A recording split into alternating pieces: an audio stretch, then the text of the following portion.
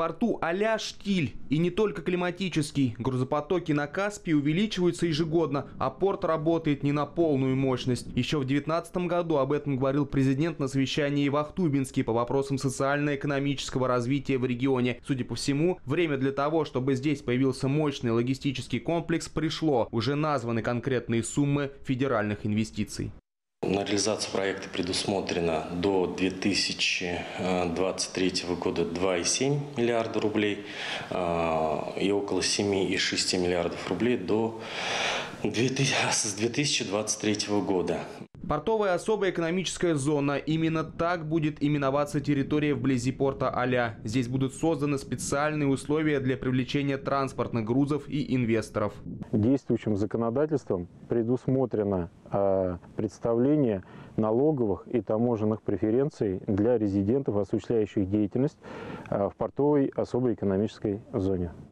Область в этой связи наряду с судостроением может получить еще один важный вектор развития – стать ключевым звеном в формировании транспортного коридора Север-Юг, у которого уже есть преимущество перед другими путями. Подсчитано, что маршрут перевозки товаров из Индии через Суэцкий канал в два раза длительнее и затратнее маршрута, проходящего через порт Аля. Мы сейчас находимся на месте, где будет предположительно находиться самый крайний девятый причал – вот в том месте будет создаваться новый порт, все это будет зачищаться.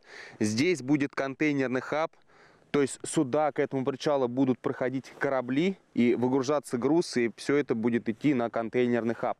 Самый главный плюс для Астраханской области – это, конечно, рабочие места, потому что для того, чтобы обслуживать все 9 причалов, нужны люди, много людей. Ну и гарантом этого проекта выступает федеральное правительство.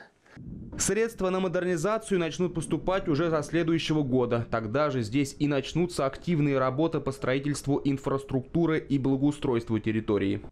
Модернизация в том числе и затронет ближайшие железнодорожные пути. Груз, зерно, электроник, продукты питания будет проходить через станцию порт Аля, далее через Зинзели уходить на основную магистраль, где будет распределяться на огромную территорию.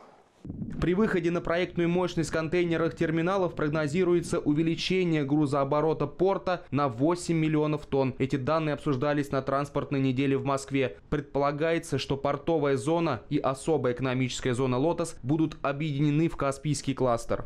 Необходимо вести работу из, в сопредельных странах, в Туркмении, и в Иране, и в Индии, э, для того, чтобы э, совместными усилиями э, разработать основные параметры предложения по коридору, то есть как будет работать единая транспортная накладная, как будет работать вопрос страхования кредитования грузопотока и так далее. При этом задачи областного правительства в части реализации проекта будут касаться и дноуглубительных работ Волго-Каспийского канала. Еще летом этого года они велись неудовлетворительно. Только к ноябрю текущего года работы вышли на проектные показатели. Помощник президента Левитин поддержал нашу инициативу на перспективу э, углубления канала до 4,5 метров. Для этого сейчас будем предпринимать определенные шаги.